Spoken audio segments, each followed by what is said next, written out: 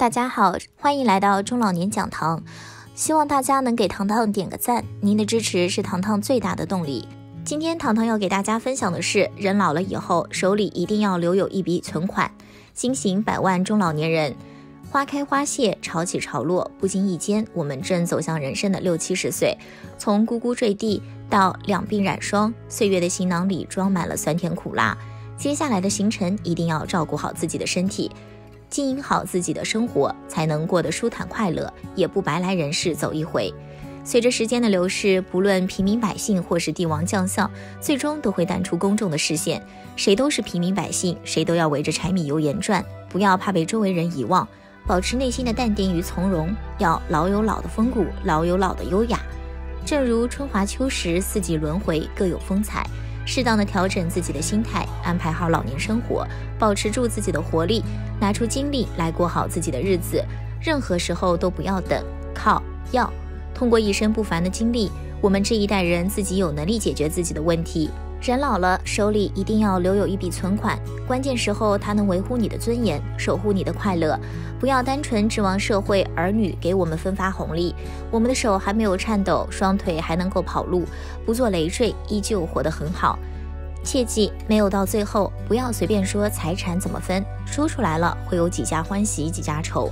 更不要早早就把房产等过户给子女。要记住。父母的家永远是子女的家，而子女的家未必就是父母的家。儿孙自有儿孙福，休为儿孙做马牛。你管他们也过，不管他们依旧过。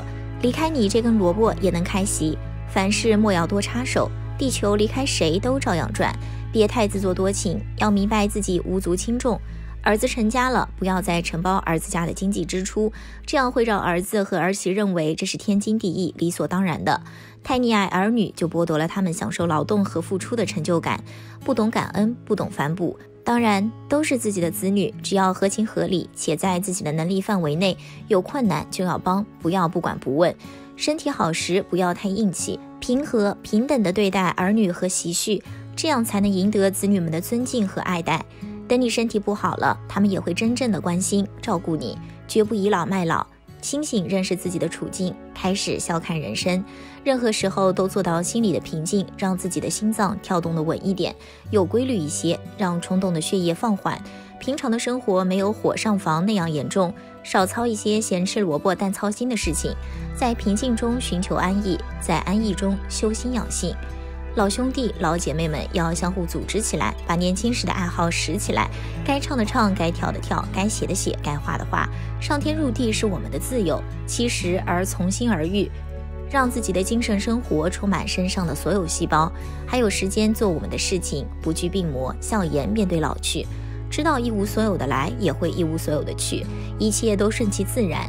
人生所有的事情无外乎好坏，天大的事情该吃就吃，该喝就喝。哪怕是天塌了，今天先睡觉再说。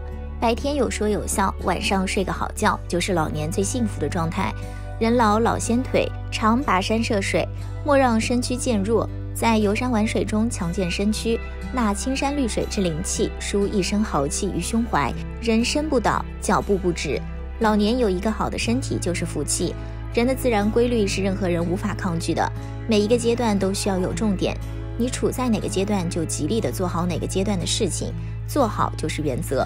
该你卸磨修驴就卸磨修驴，没必要再整装上磨去做傻驴。人生在世会遇到许多想不到的事情，让人兴奋或懊恼，甚至是扼腕，都是很正常的事。心态放轻松一点，是每一位老人都要尽量做到的。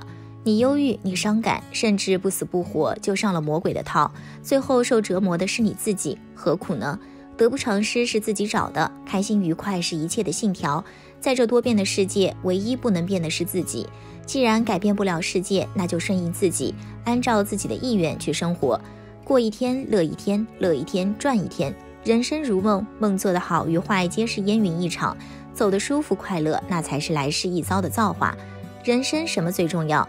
活得开心快乐也就足够了。不论经历了什么样的困苦磨难，现在依旧笑得开心，心还没有老去，夕阳无限好。我们一定会调节好我们的生活。今天的分享就到这里了，大家别忘了给糖糖点个赞，同时可以到 Facebook 和糖糖互动，您的支持是糖糖最大的动力。